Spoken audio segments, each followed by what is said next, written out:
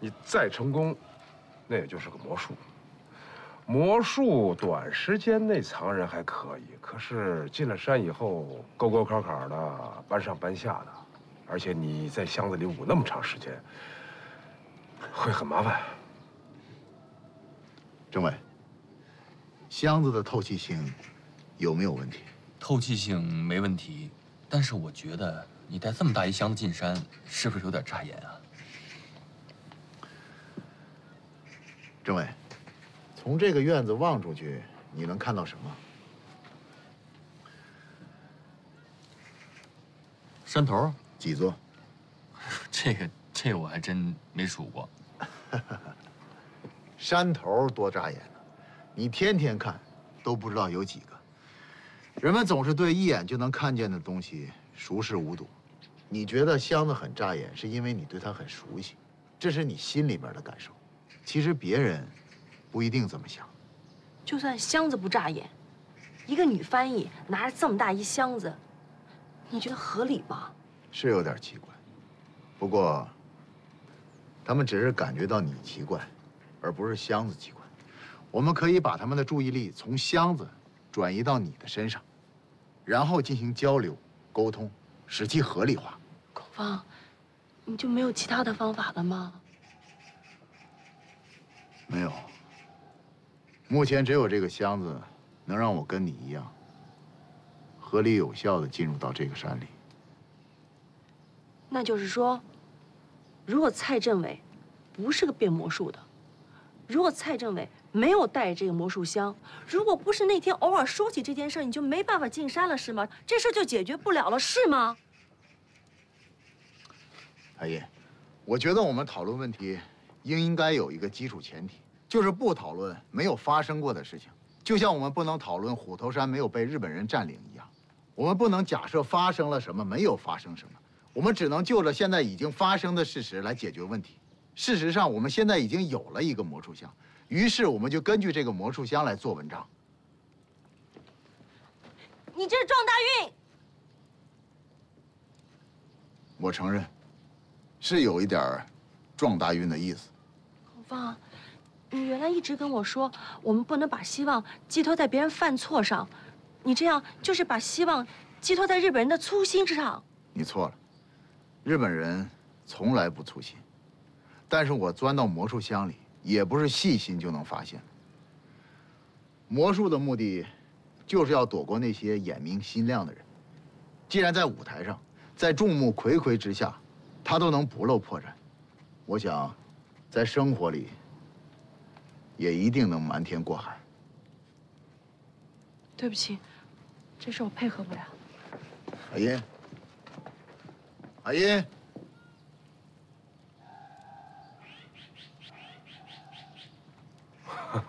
我想，什么事儿，应该都有个过程。是是是。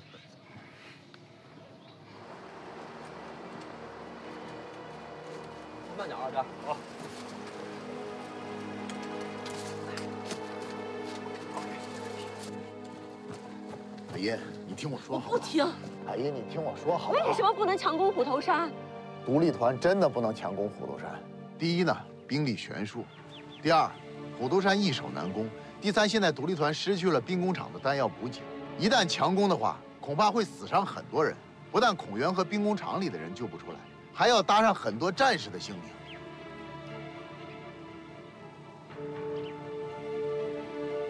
你计算出小概率事件的结果吗？没有，因为小概率事件无法计算结果。那推算到现在是什么情况？推到现在目前的情况，此时此刻我们已经进入了小概率事件的启动模式里面。什么意思？这意味着我们在小概率事件的律动数值之内。如果是，我们就继续；如果不是，就意味着失败。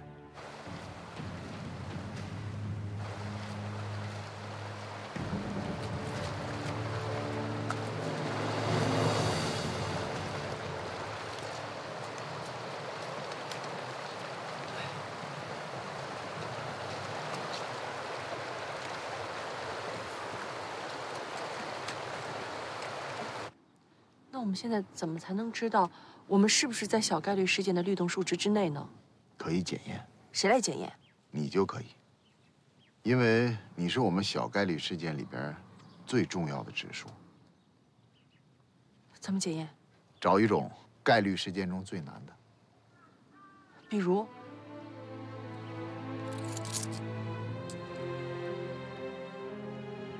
好，我来检验。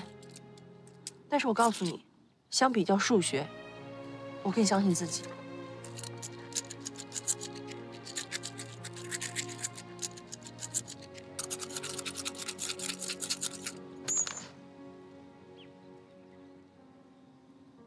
天哪！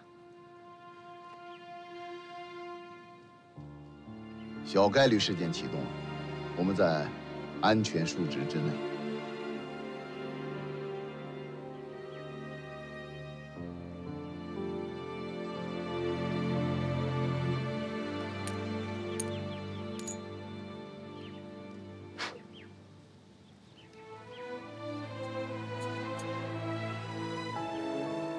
我看一下硬币。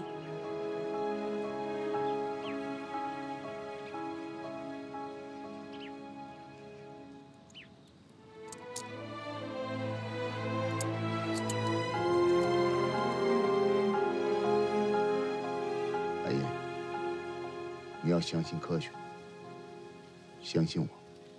嗯。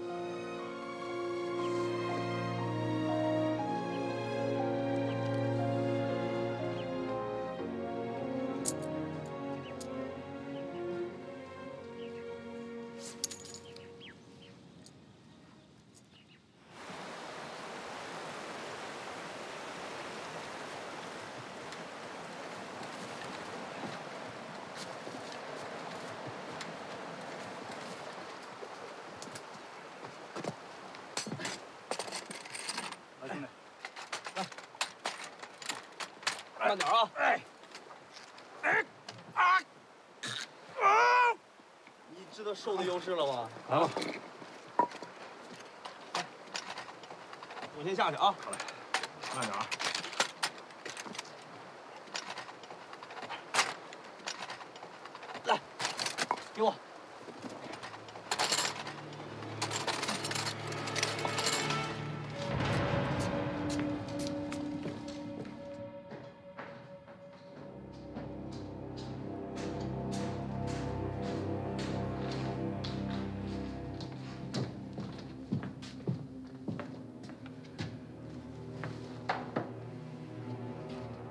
将军，请用膳。一起喝一杯。陆将军，还进入自己袭击营机。这菜这酒很有讲究，请坐。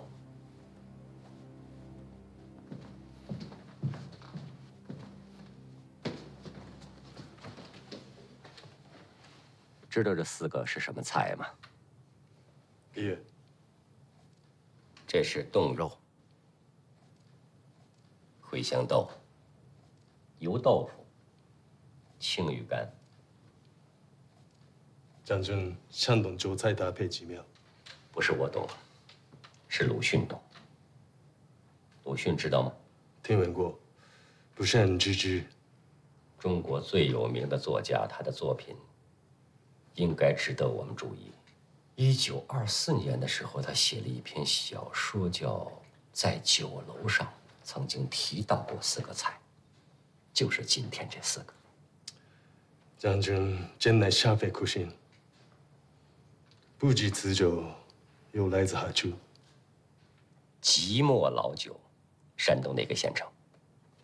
尝一口。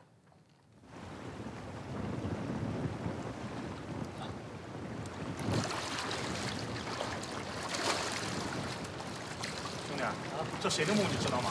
我不知道啊，不过好像不是一个人的，很多人。不是，这儿多阴森呀！不会到了鬼门关了吧？怕啥呀？咱都闯了这么多回鬼门关，鬼都懒得给咱们开门了。不是你当时进来你害怕吗？当时进来我有点怕呀，可后来想，我打鬼子的，我鬼子都不怕，我怕鬼干啥呀？后来我就不怕了。然后我想，没准儿这古墓里的魂儿保佑我，他把我给救了。阿弥陀佛。兄弟，咱要活着出去，一定给他们修碑立传。我跟你一起。好，你在前面，真有点害怕。来，马上到了啊！好嘞。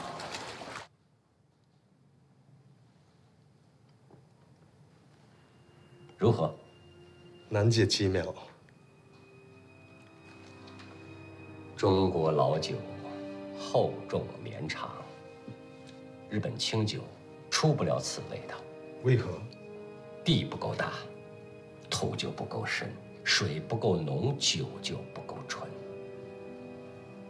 清酒之淡，更显出岛国之狭窄；老酒之浓，盖因中华土地之深厚。哎，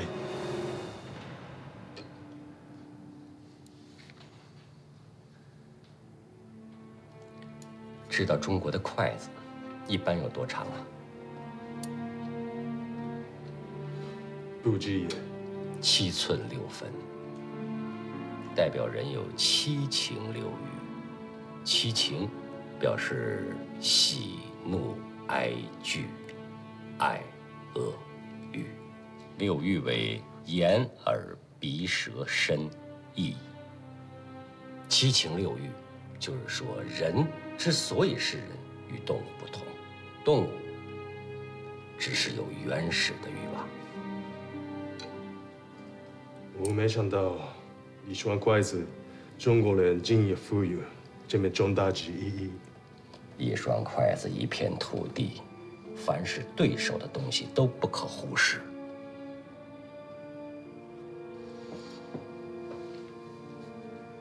活着就可以拿起筷子，活着就可以看到未来。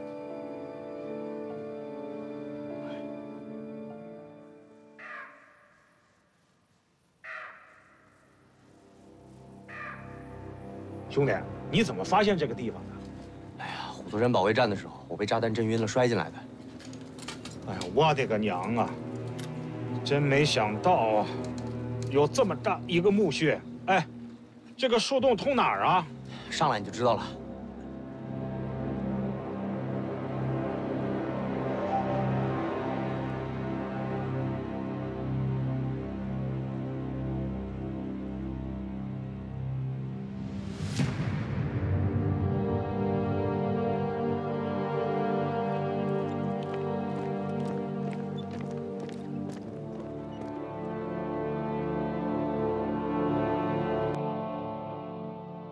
小五，嗯，咱们在虎头山那么长时间，哎，竟然谁都没注意到这个大是啊，谁能想到他还连着一座古墓呢？咱们要好好的利用这个隐蔽的地方，干掉他几个鬼子。哎，老陆，你得专门找官大的打啊！行了，我知道了，别说话了，先观察观察情况再说。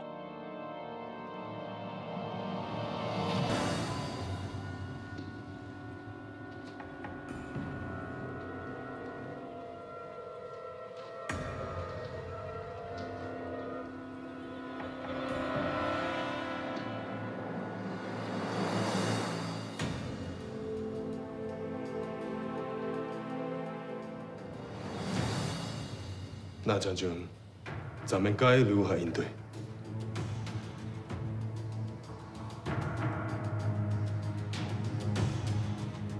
我还要观一下天象。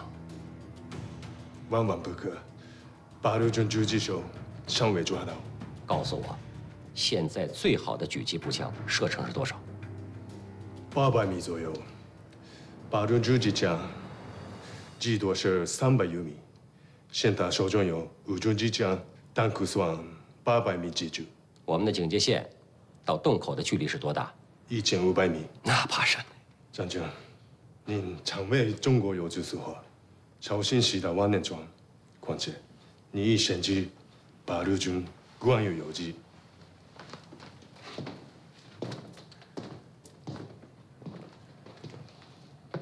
他就是再能打，也打不着我。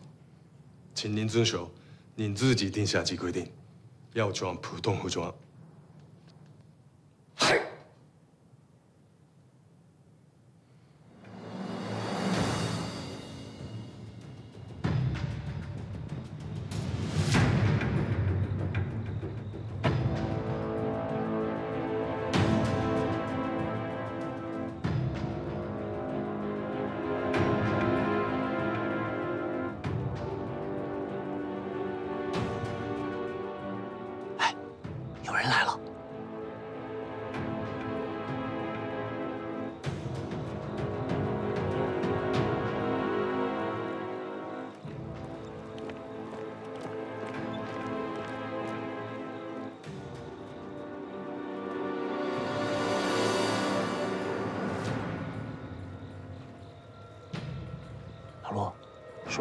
这左边的是个老兵，右边的一脸孙子样，一看也不是个当大官的。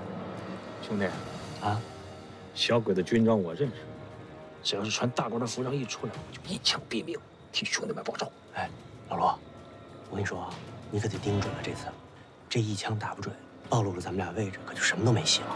废话，我傻呀我。忍，一切都忍。对，忍字头上一把刀，得忍。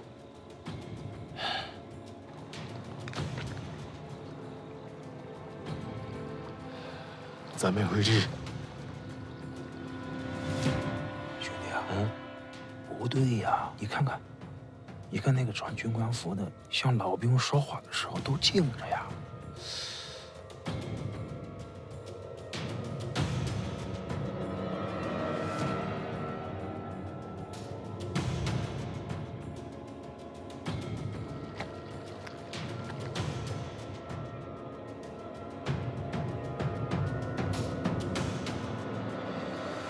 有点不对劲儿哎。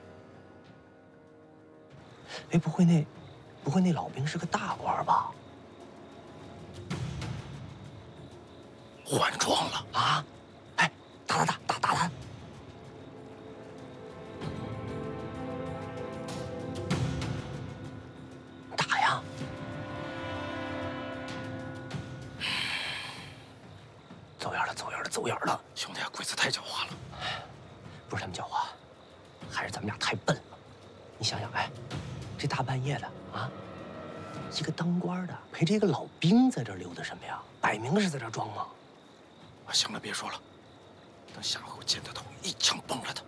没那么快会再出来，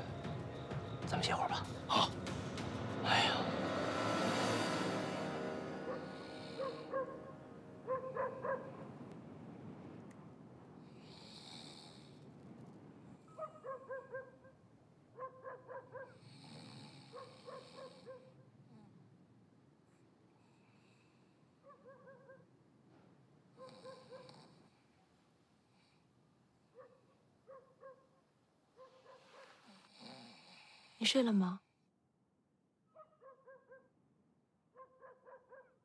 真能装。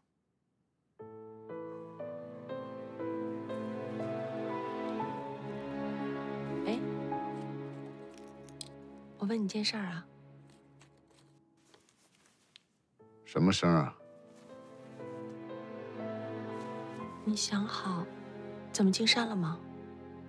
还不知道，那怎么办？会有办法的。那你干嘛还不睡觉啊？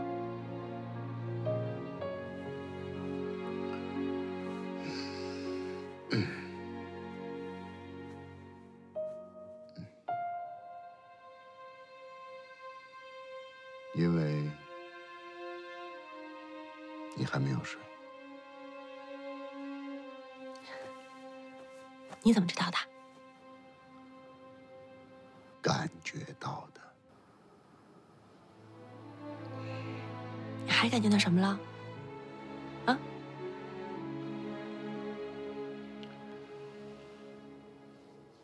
我还感觉到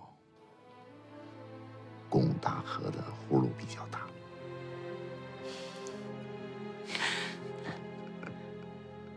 你睡吧，我马上就睡觉了。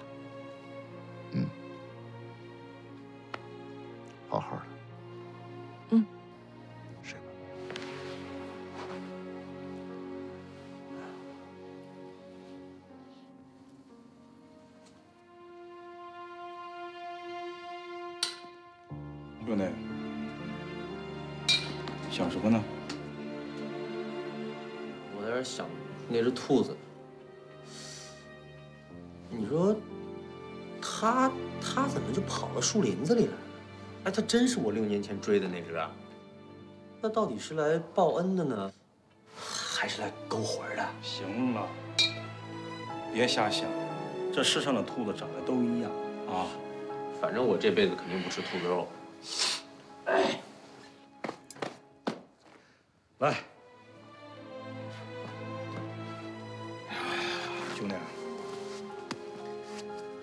我说说，等把小鬼子赶走了，你打算干什么呀？我还真想好了。干什么？那说出来你别笑我。哎呀，我们弟兄俩就全当是说说知心话。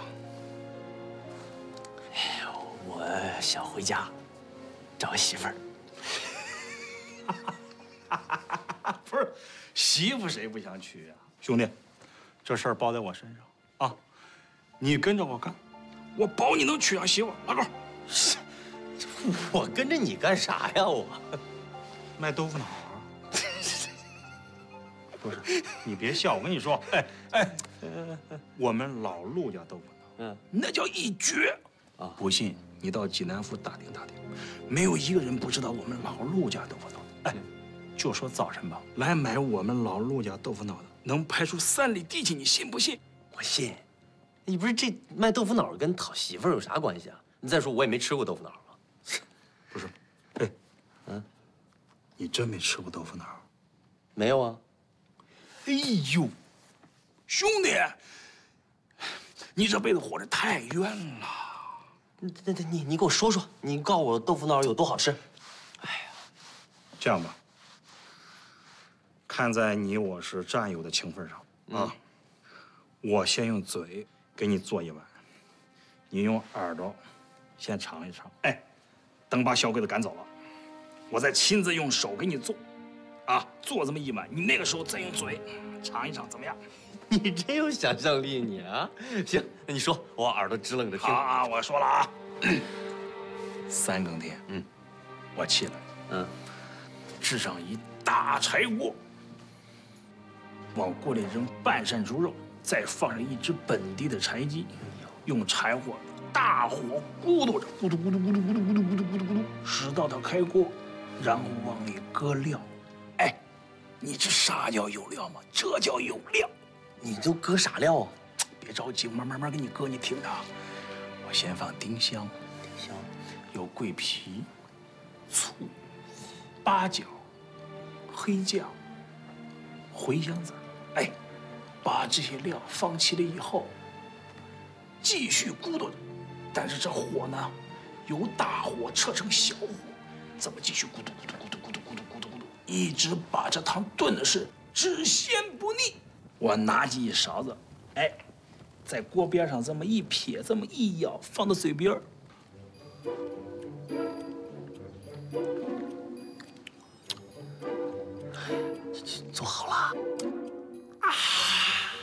这汤就算是齐了，能吃了。哎呀，这只是汤，汤做好了。接着我再给你盛豆腐脑。哎，这豆腐脑盛可是有讲究的。只能是一勺下去，绝不能二勺，知道吗？然后扣在碗上，像个馒头状一样，然后再把刚才卤好的高汤往这碗里一浇。哎，我给你浇的是溜边溜眼儿，吃辣不？吃吃，我特别喜欢吃辣椒。好，我给你多放些辣椒，再捏上一撮盐水，最后，哎，我再给你滴上一滴香油。这豆腐脑就算是齐了，怎么样？怎么样？可真行哎，老陆，我耳朵都听馋了。我 兄弟，哎哎，只要你跟着我，我保你天天有豆腐脑吃，娶上媳妇。行，那我就给你当长工呗。你看看，新社会不叫长工啊，那叫店员。店员，记住啊！行了行了，爱是啥是啥，反正我就跟着你干。学我呀！嗯。等把小鬼子赶走了，这脑袋还在肩膀上扛着的时候，咱们这豆腐脑的事儿就算是成了。老陆，哎，你说这要打完仗，咱俩不死可多好呀！啊，有媳妇儿搂，还有豆腐脑吃。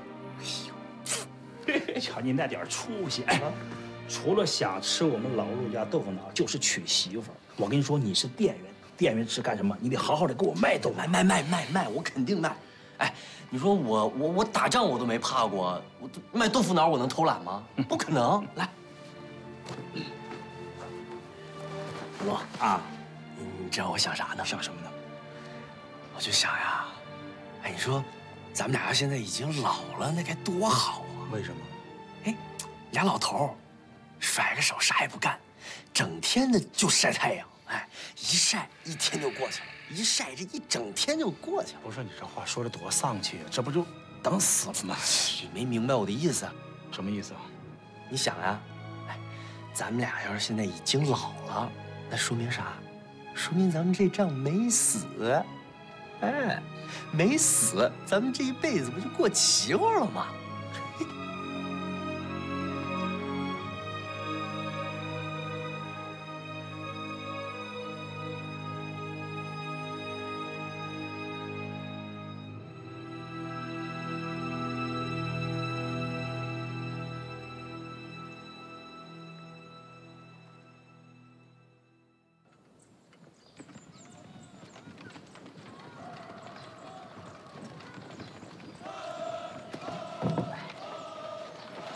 哎，这车呀，平时团长都舍不得用，喝油喝的太厉害。嗯，你知道这现在汽油比肉还缺，真不好搞。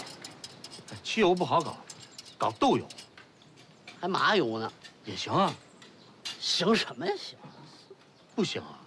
当然不行。哦。哎，怎么了？开了。这车怎么了？哦，没事，向老师，这是小毛病。好久没开了。这能修得好吗？啊，您放心，马上就修好了。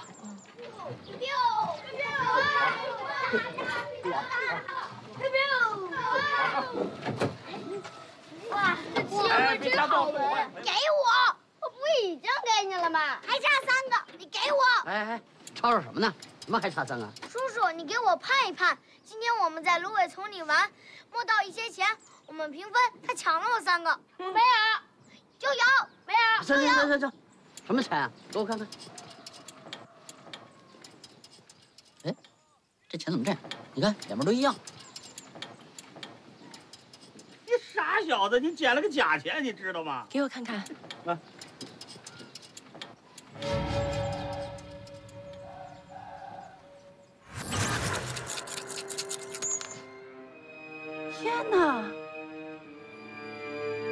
小概率事件启动了，我们在安全数值之内。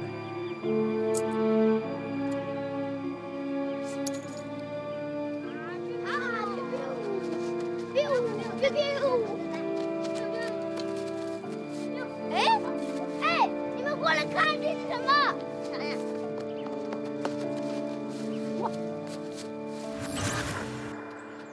小朋友，说好了钱要平分的，你分给他吧。去一边玩去吧啊！去吧去吧去吧，别在这玩了。哦，等等，玩去喽！有谁愿意给我一块钱？我我给你。这个给你，去买糖，跟小朋友平分好吗？嗯。走喽！买糖买糖喽！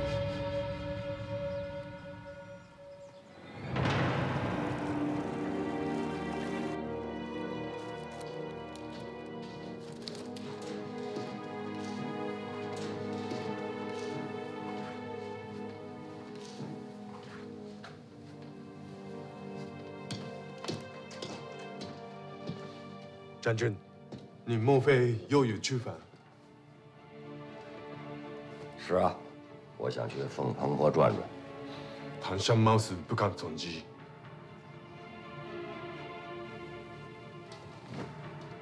你以前不是也经常跟我一块去吗？狙击手为狙击剑，你动口都不能去。难道一个八路军的狙击手就能把我困在山洞里啊？目前来说，真是。马上把他给我找出来，不能让他跑出虎头山。嘿。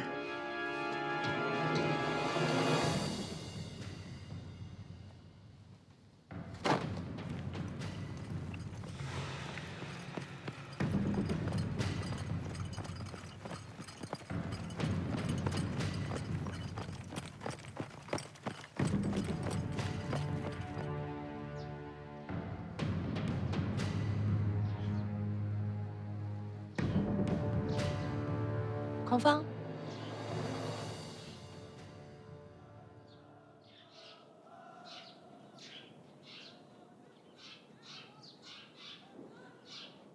孔芳，哎，嗯，嗯，哎。呀，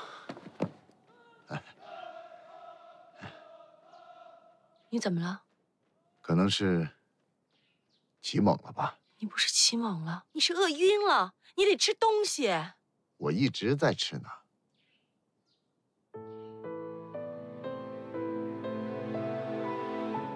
你为什么紧张啊？我紧张了吗？你的右手发抖了。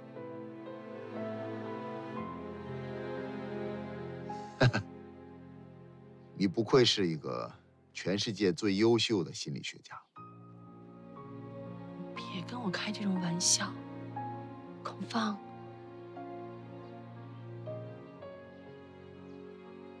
怎么了？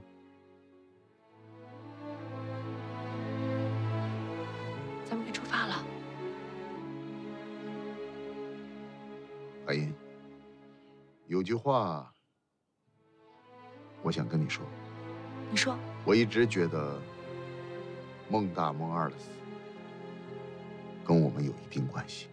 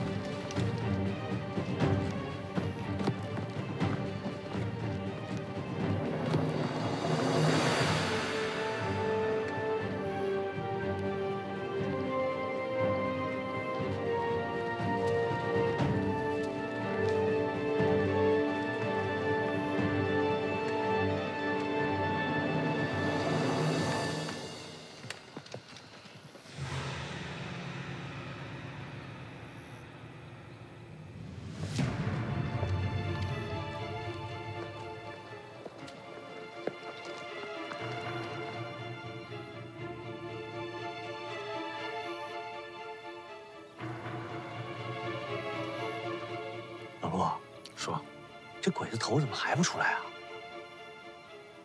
要不我先打他一个过过瘾？心字头上一把刀，得忍啊！少说这个忍字，上次就因为这个忍字，坏了大事。你给我忍住了，要不咱们先下去休息会儿，别再把你火憋出来。走，我是逗你呢，跟你开玩笑呢。走。